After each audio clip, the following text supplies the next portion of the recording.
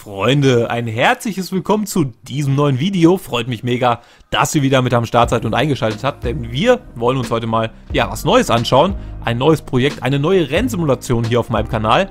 Neben ja, den ganzen Assetto Corsa Kompetitionen Videos gibt es heute mal ein bisschen Abwechslung und zwar von Automobilista 2. Das ist jetzt seit, ja, seit ungefähr einem halben Monat im Early Access verfügbar und mich hat es mega interessiert, was diese Rennsimulation ja schon so kann. Es ist natürlich noch lange nicht final, diese Version, oder es werden wahrscheinlich auch noch hier und da so ein paar Baustellen sein, aber man kann natürlich schon, sich schon mal so einen Ersteindruck holen, wo die Reise hier hingehen wird, denn diese Rennsimulation, die basiert auf der Project Cars 2 Engine, das heißt, grafisch wird uns auf jeden Fall einiges erwarten, aber das große Fragezeichen war für mich, okay, inwiefern können die die Fahrphysik vom Project Cars 2 quasi verbessern, weil ich weiß nicht, inwiefern das miteinander alles zusammenhängt, oder vielleicht sogar ganz umändern, weil Automobilista 1 hat eine sehr, sehr gute Fahrphysik und deswegen gehe ich davon aus, dass Automobilista 2 ja auch eine, eine sehr solide oder wenn nicht sogar sehr gute Fahrphysik haben wird. Und das schauen wir uns heute in diesem Ersteindruck einfach mal an, würde ich sagen. Wir starten hier einfach mal in einen Testtag rein, gucken hier nochmal kurz, was für Fahrzeuge wir hier so zur Verfügung haben, welche Rennklassen es gibt.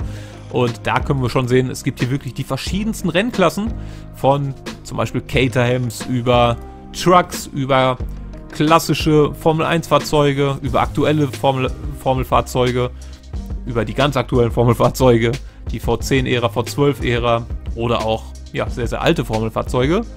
Aber wir haben zum Beispiel auch Karts dabei, richtig, richtig geil, wie ich finde. Auch wenn ich jetzt wirklich noch nie Kart gefahren bin, im, äh, ja, in der Sim-Racing-Welt, in echt schon.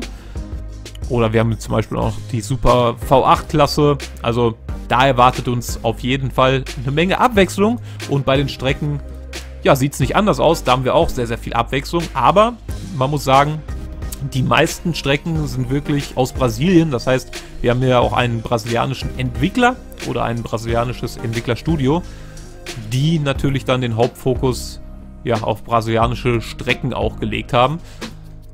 Aber nichtsdestotrotz haben wir auch einige Strecken, wie zum Beispiel Brands Hatch, ähm, Catwell Park kennt man auch, Imola, Donington Park, Jerez und noch einige andere, die uns bekannt vorkommen. Und ich würde sagen, wir starten heute aber mal in Brasilien. Und zwar hatte ich mir Interlagos mal rausgesucht, weil die Strecke kenne ich einigermaßen und auf die habe ich auch mega Bock.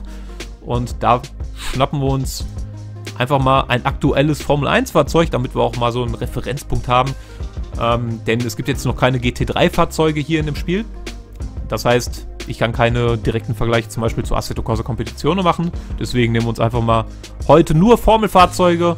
Ich denke mal, ich werde ähm, hier die aktuelle Formel 1 testen, die V10 und vielleicht noch irgendwas Klassisches oder so, damit wir verschiedene Sounds auch mal hören oder, oder ein verschiedenes Fahrverhalten haben und dass wir uns davon einfach so einen Eindruck machen können. Hier kann man noch die ganzen äh, Bedingungen einstellen. Das ist auch sehr, sehr geil. Also ähnlich wie im Project Cars 2 auch. Kann man ähm, hier ja, den Zeitfortschritt beliebig bestimmen, auch zu welcher Jahreszeit, verschiedene Wetterslots. Ja, und ich würde sagen, wir schnacken gar nicht länger drumherum, sondern gehen hier direkt zur Strecke. Und ich würde sagen, wir sehen uns ja, in Brasilien, in Interlagos. So, und da sind wir auch schon wieder hier in der Boxengasse. Und ich würde sagen, wir verlieren nicht viel Zeit. Wir springen direkt auf die Strecke und ja, sammeln unsere ersten Eindrücke hier in Automobilista 2. Und ja, wir switchen schon mal die Kamera durch. Ich würde sagen, wir starten erstmal hier in der Cockpit-Perspektive. Ja, und sammeln unsere, wie gesagt, ersten Eindrücke. Grafisch erinnert es natürlich sehr, sehr stark an Project Cars 2. Ist ja auch normal, weil es dieselbe Engine nutzt. Aber wie ich gerade schon mal gesagt habe, es zählen natürlich auch noch einige andere Faktoren. Und die ja, wollen wir jetzt mal ein bisschen abchecken. Wie zum Beispiel die Fahrphysik oder den Sound. Den hört er ja jetzt gerade selber. Könnt ihr auch mal gerne in die Kommentare schreiben was ihr so zum Sound sagt und zum ersten Eindruck generell. Aber erstmal hier mit dem Controller natürlich auch erstmal ein bisschen klarkommen, ein bisschen gucken, wie das Ganze reagiert. Fühlt sich auf jeden Fall schon sehr direkt an. Klar, es ist auch ein Formelfahrzeug. Aber das heißt natürlich nicht, dass es automatisch gut fahrbar ist. Ich habe auch schon andere Formelfahrzeuge in anderen Spielen ge ja, gesteuert mit dem Controller und da war es auf jeden Fall mega schwierig, teilweise. So, aber wir switchen hier mal die Kamera durch. Eine Helmkamera haben wir auch sogar. Also quasi auch wie in Project Cars. Da ist die Immersion natürlich dann nochmal eine Ecke höher. Aber man muss sich natürlich an dieses ähm, in die Kurve neigen von dem Helm ein bisschen dran gewöhnen, weil der Fahrer immer dann so ein bisschen mit in die Kurve reinguckt. Und das ist eigentlich persönlich so meine Lieblingskamera in jeglichen Formel 1 Spielen, weil man einfach nur noch eine bessere Übersicht hat und ich finde der Sound, der ist nochmal eine Ecke geiler als so im Cockpit an sich oder in der Helmkamera. Ist alles nochmal ein bisschen kerniger, das brüllt alles ein bisschen mehr, hat man das Gefühl. Ja, und von außen auf jeden Fall. Also von außen ist der Sound nochmal viel geiler, finde ich. Aber das heißt nicht, dass ich in der, in der Kameraperspektive fahren werde. Aber ihr seht's, das Auto arbeitet auch. Es sind viele Bohlenwellen. Also das sieht schon cool aus. So vom allerersten Eindruck. Aber ich würde sagen, wir suchen jetzt mal eine Kameraperspektive, wo wir hier mal ein bisschen mit fahren können. Die ist doch ganz nice.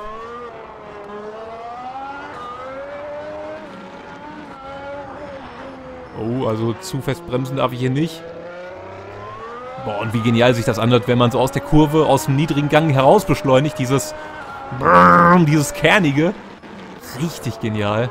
Das haben sie schon echt gut gemacht. Ja, und wie ihr seht, wir haben hier so eine leicht neblige, leicht diesige Atmosphäre. Wo die Sonne ja so ein bisschen durchschimmert. Richtig genial sieht das aus.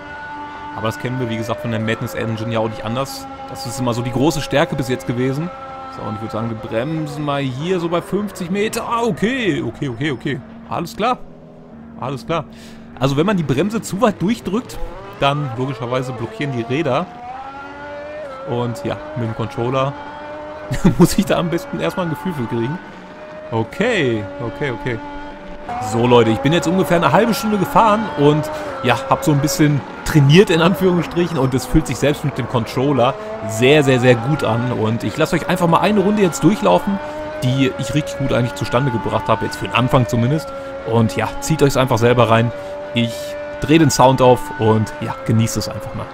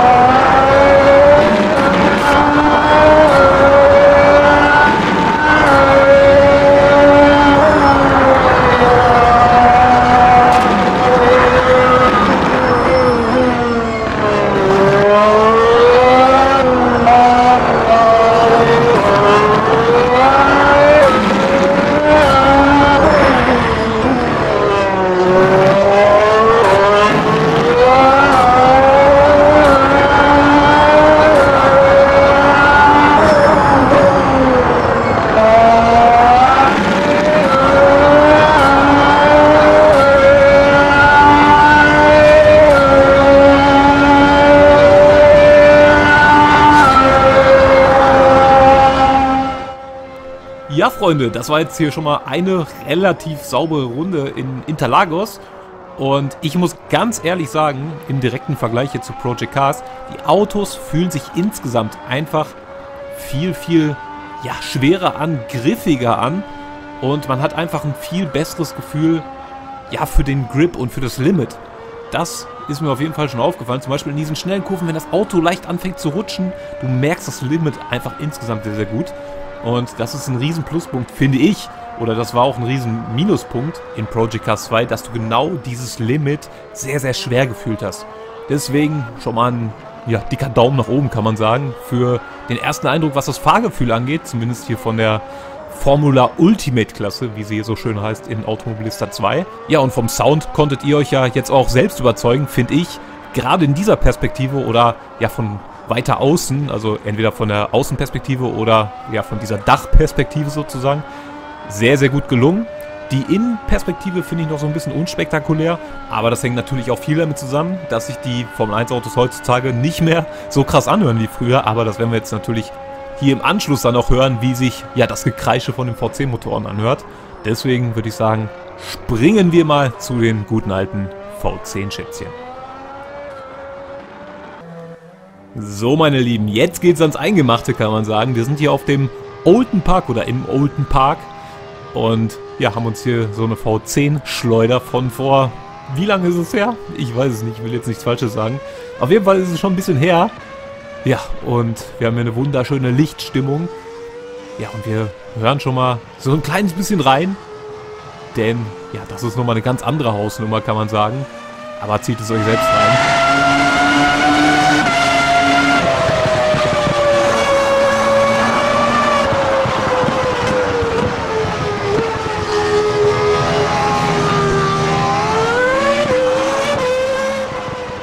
Ja, einfach herrlich, herrlich, herrlich. Und die Cockpit-Perspektive gefällt mir ja auch viel besser von der, von der Ansicht her. Man hat einfach viel mehr Überblick, ja, als in den modernen Formel-1-Wagen mit diesem, ja, behinderten Halo. Auch wenn es natürlich für die Sicherheit dient, aber ja, ich bin da irgendwie kein Fan von, muss ich ehrlich sagen. Da fühlt man sich hier direkt schon ein bisschen heimischer und ja, man denkt direkt immer an die guten alten Zeiten. Aber wir schauen uns hier auch mal die Strecke an, die ist wirklich auch sehr, sehr geil gelungen. Und probiert diese Kombination mal aus, wenn ihr die Möglichkeit dazu habt. Einfach mal ein altes Formel 1 Auto nehmen und ja hier auf dem Olden Park ein paar Runden drehen. Ja, aber genießt es einfach nochmal. Ich halte nochmal die Klappe und melde mich gleich nochmal.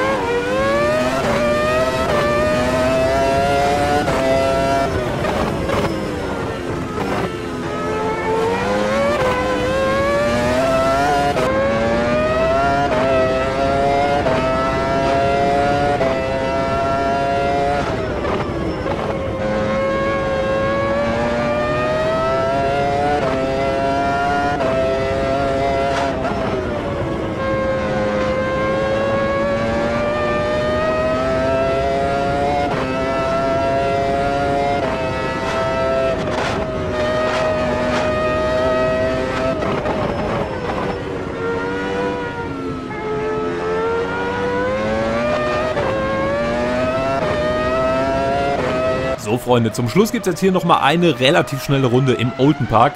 Genießt die Action, ich drehe den Sound voll auf und danach ja, kommen wir zum abschließenden Fazit hier von diesem Ersteindruck. Aber erstmal gibt es jetzt hier die volle Dröhnung. Let's go!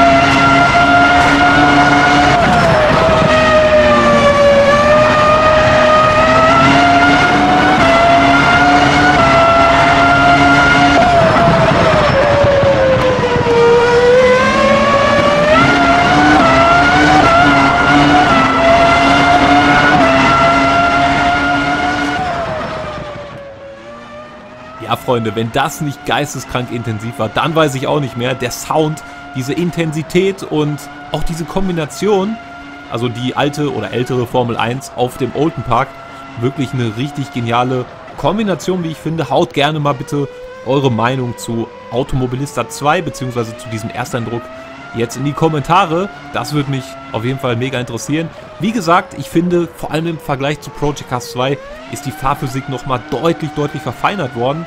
Auch wenn ich das natürlich jetzt nicht mit dem Controller final beurteilen kann, weil dafür braucht man natürlich ein Lenkrad. Aber das, was ich bisher beurteilen kann, das ist auf jeden Fall sehr, sehr positiv. Auch von der Auswahl her der Strecken, da sind auf jeden Fall sehr, sehr viele neue Strecken auch dabei und auch neue Fahrzeugklassen und so weiter.